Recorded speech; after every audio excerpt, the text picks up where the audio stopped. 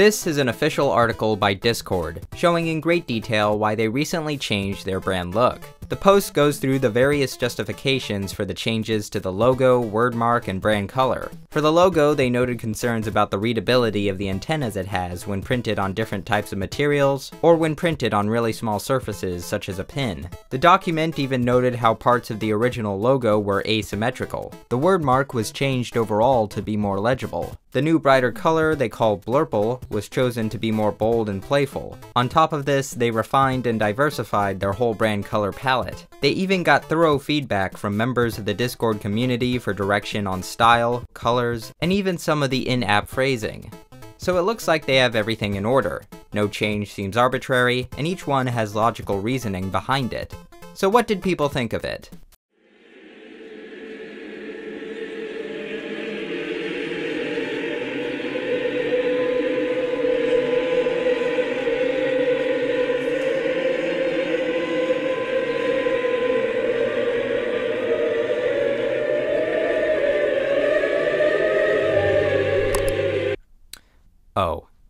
Now, before we move on with the rest of the video, I believe some changes are in order.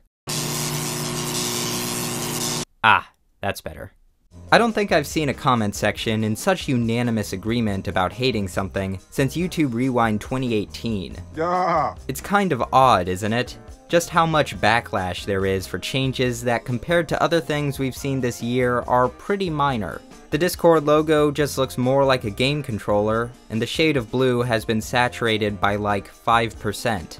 However, even though from a practical design standpoint many of these changes make sense, I can still understand the hate. This Discord logo does seem more reduced, less playful. This word mark is less dynamic, more awkwardly soft looking if that makes any sense. And the brighter color, well, I stare at screens for long periods of time, so I really don't need any more brightness than I already get.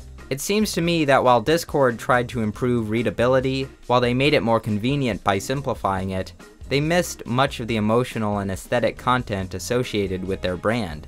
This simplifying trend is something that many people have started to catch on to. It seems that, for whatever reason, brands are choosing to simplify their look to what feels like an excessive degree, and almost none of these changes have been welcomed positively by the internet. How is that possible? How can companies with their vast resources make such consistently hated changes? Are these businesses just incompetent? Probably not most of them. I can guarantee that for every stupid little change, some designer or design group has created an even more detailed, even more obsessive document justifying their logo changes. These justifications are usually pretty easy to grasp. They usually include things like readability on different size screens, simplifying things to be more memorable, and creating a more refined visual language. All these things add up to make logos that are just so convenient, so clean, so confident. For whatever brand change, there is going to be some sort of logic behind it. But there's also always going to be a trade-off. A square is convenient. A square is easy to read on different size screens. A square is easy to memorize. But logos are often more than a square. What about character? What about personality? What about actually communicating what the brand is supposed to be? Simplification, like anything, is a designer's tool that can be used well or poorly.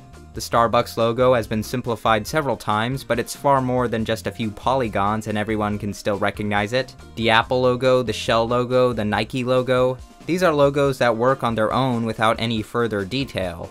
But then there's logos that have been simplified and flattened to what feels like their own detriment. Take Firefox.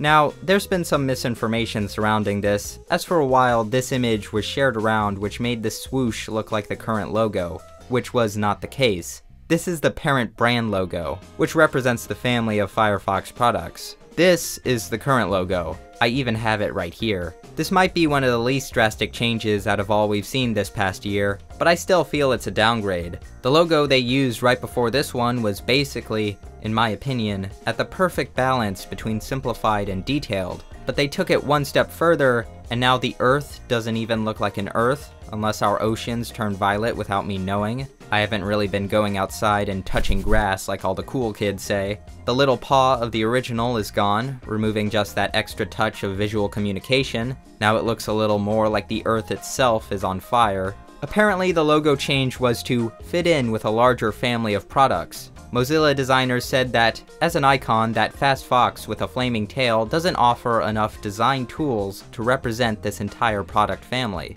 Petco removed its iconic cat and dog, making it infinitely less friendly, though they might be coming back in some form. Dunkin' Donuts has removed the donuts from its name because according to the CEO, they want to further modernize the Dunkin' Donuts experience. From our next generation restaurants to our menu innovation, on-the-go ordering and value offerings, all delivered at the speed of Dunkin'. I don't know about you guys, but I don't feel like that's gonna catch on.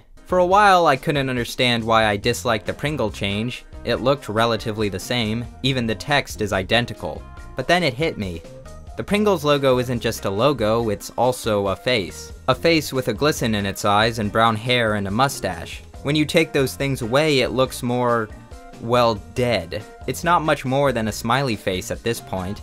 We spent the last two years in research and design to create a modern look for the cans in Mr. P's style that reflects the bold flavor in every Pringles crisp and stack, says the senior director of marketing for Pringles. Uh, I, uh, um, the Patreon logo is easily the worst, going from a logo that is fine and recognizable to, I'm going to be blunt here, two shapes.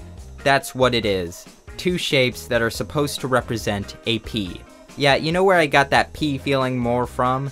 This one. If not removing iconic and meaningful detail from logos means that on a 144p smartphone screen, your logo can't be read by a grandma without her glasses on, I think that's a sacrifice that's worth it, you know? If we calm down and stand back, yeah, the changes are still mostly dumb. But then another thought occurs to me. Is this where we're at? Our emotions can be swayed by a bunch of shapes and colors slightly moving around?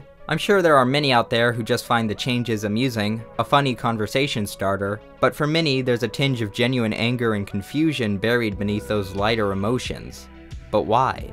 Design is important. Yes, even small things can matter. Everyone knows the frustration of poor design. Everyone knows the disorientation when one pulls on a pull handle and the door can only be pushed. Logo redesigns like Patreon and Pringles I would argue are just downgrades. I think they're just taking things away instead of refining them. Now one's less recognizable and one's less lifelike. Discord's new color will strain your eyes just a little bit more. Even if you can't pick out design features that work against it in a practical sense, people will still tend to react negatively to change, no matter what it is. It's just hard to please people. Design is a difficult thing with lots of subjective elements. Here's just one example. Let's take MasterCard for example. They have removed the big block of text and the intersecting lines and just left the red and yellow circle. I actually find this to be a really good choice because it does what it needs to do. When you're shopping using your card in your daily life, all you need to see are the two circles to recognize that it's the MasterCard. Any other text or details would just be distracting. With the MasterCard logo, it wasn't flashy or out there, but for the minimalism change, they left it to just the two balls and made a Venn diagram. For gosh sakes, not everything needs to be that basic. Literally anyone could make this logo. But brands aren't just about designs, they're also about emotions.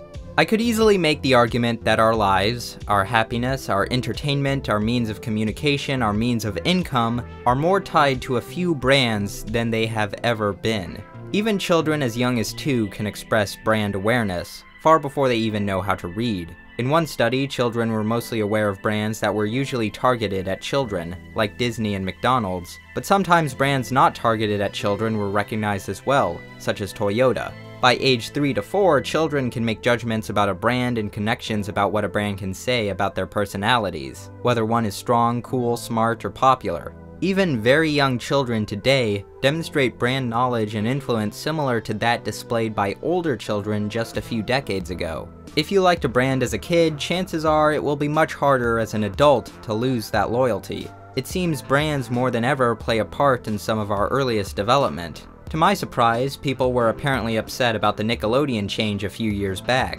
I suppose since I didn't watch Nickelodeon as early as a lot of other people, the Nickelodeon logo type just seemed like it always existed like that. There could certainly be an element of nostalgia making people more vulnerable to change than is reasonable.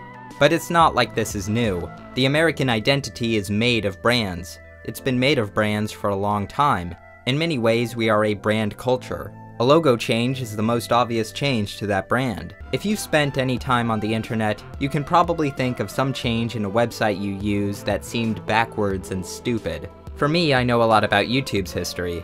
Hey, we're YouTube. We're going to remove a bunch of useful features because of some vague creator feedback, even though when we announce these changes on Twitter for some reason, we receive massive backlash from countless real creators in the community. We removed community contributions, annotations, probably soon the dislike button, and instead we've added much more useful features like an editor, which I'll admit has some useful features, but the one it's really missing is text, which...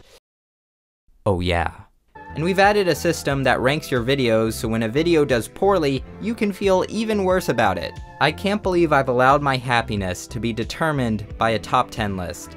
Oversimplifying logos is just a short and sweet way to show how powerless we all are to these companies, and whatever inane decisions they choose to make. Or at least, that's what it feels like. There are usually logical reasons behind these changes that maybe we don't recognize at first, but that doesn't reduce the sting when it seems like someone insists on fixing things that weren't broken in the first place.